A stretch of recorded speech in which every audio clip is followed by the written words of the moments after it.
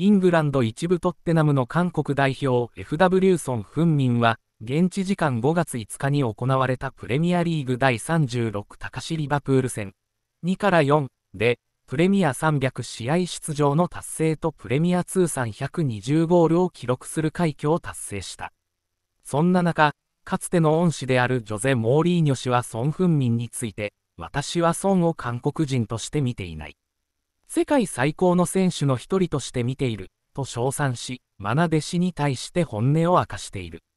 2015年にトッテナムに加入したソン・フンミンは、8シーズンにわたってリーグ屈指の点取り屋として活躍してきた。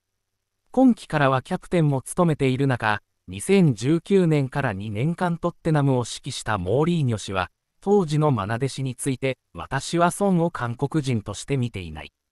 世界最高の選手の一人として見ている、と惜しみない称賛を送りつつ、マナ弟子に対する本音を英し、メトロが伝えている。おそらくトッテナムのサポーターは私の発言に不満を抱くだろうが、無礼ではない。彼はタイトルを獲得するべき選手だし、世界最高のチームでプレーする資格がある。国内ではもしかしたらマンチェスターシティやリバプール、チェルシーでプレーする機会もあるかもしれない。もしくは国外リーグのトップクラブもしかりだ。ライカで契約満了を迎えるソン・フンミンは今年で32歳を迎えるものの、モーリーニョ氏は、彼はアタッカーとしての現代的な機動力を備えている。